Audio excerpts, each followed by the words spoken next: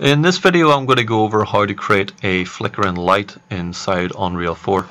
So what I have already is a static mesh of a ceiling light and what I'm going to do is I'm going to right click that and I'm going to create a blueprint using it and I'll just save it into my test folder.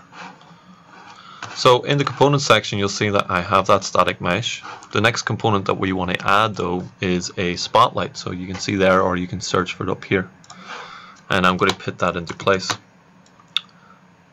Now already this is a pretty cool feature because if I compile and save this whenever I drag this um, blueprint in you can see that it will have not only the static mesh with it, but it will also have the light source that we created in our component section. So it means that whenever you're creating a level, you don't always have to place a static mesh for a light and then a light itself. They can be um, done at the same time through a blueprint.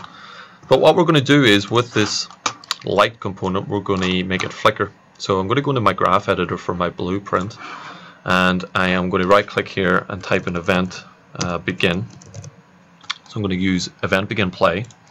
So whenever the level loads up, I'm going to right click and I'm going to add a timeline. I'm just going to type in intensity. So whenever we uh, begin our level, we're going to start playing this timeline. So let's double click this timeline and we'll add in a float track. And you can see here I've got values of intensity or just numbers on the left hand side and from the left to right I've got my timeline. To add in a keyframe all you have to do is hold down shift okay and that adds in a keyframe. So if I want a flicker and light I probably should have loads of different keyframes that are going up and down in these values.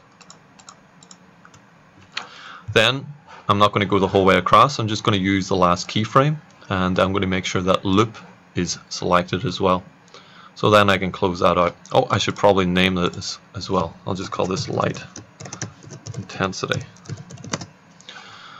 Now, if your light intensity track does not appear here, just right click it and just go refresh nodes and it should appear. So then I'm going to get my spotlight, okay, on the left hand side, and I'm going to right click and type in intensity.